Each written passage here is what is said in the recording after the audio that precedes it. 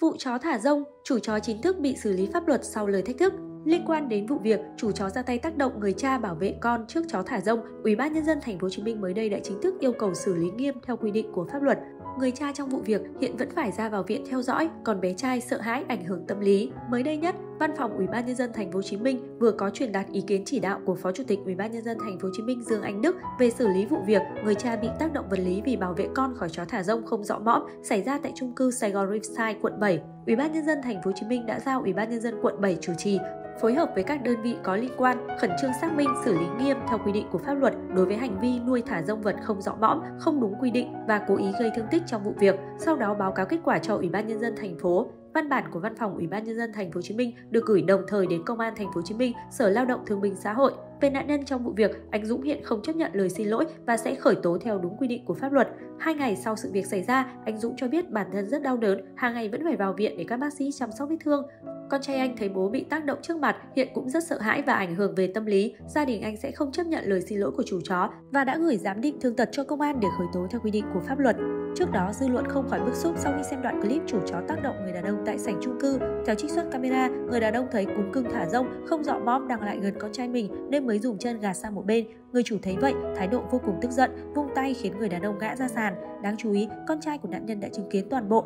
Cậu bé hiện rõ sự sợ hãi, cầm đồ chơi đứng nép vào góc tủ. Sau khi vụ việc diễn ra, cả nạn nhân và chủ chó đều lên tiếng phân trần. Theo lời người ra tay, anh Vinh cảm thấy hối lỗi và mong muốn đền bù thiệt hại cho đối phương. Tuy nhiên, anh Vinh giải thích thêm rằng cún cưng nhà anh chỉ mới 3 tháng, hiền lành, thích đùa giỡn nên được nhiều người trong chung cư yêu thích. Việc quên dọ mõm do lúc đó phải chạy xuống sảnh lấy hàng shipper, anh cảm thấy sốc, xót chó khi thấy chó của mình bị đối xử như vậy nên mới xảy ra hành động thiếu kiểm soát. Anh Vinh khẳng định khi chó của anh cắn vào đồ chơi của em bé theo kiểu cắn yêu, không có dấu hiệu tấn công hay gây nguy hiểm thì anh Dũng có dùng chân đá con chó ra. Lúc đó, vì sót cho chó mình nuôi, anh thừa nhận bản thân đã mất kiềm chế, bộc phát hành động không đúng. Sau khi trở về phòng và ngẫm lại hành động của mình, anh cho biết có cùng bạn xuống bảo vệ để tìm số phòng của anh Dũng, tìm cách xin lỗi.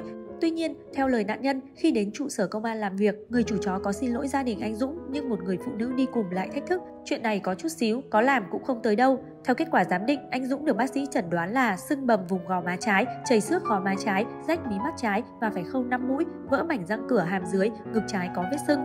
Ngay sau đó, anh giờ đã cùng luật sư làm đơn khởi kiện theo quy định pháp luật. Ngoài tổn thương thể chất, gia đình cho rằng sự việc làm ảnh hưởng nghiêm trọng tới tinh thần của con trai anh. Tôi cũng có ngăn cản vì con chó dù trông nhỏ với người lớn nhưng khá to so với trẻ em. Dù tôi nhắc nhở nhưng chủ chó không có động thái gì, con chó thì càng tiến sát đến gần con nên tôi mới dùng chân chân đẩy ra. Lúc đó chủ chó đẩy mạnh khiến tôi không phản ứng kịp, té ngã ra phía sau. Anh giờ kể lại, Mặc dù con trai tôi hoảng sợ, lùi lại và tỏ thái độ không muốn chó đến gần nên tôi đã nhắc nhở chủ chó là người cùng sinh sống tại chung cư. Tuy nhiên, người này không hề có động thái đuổi chó mình ra.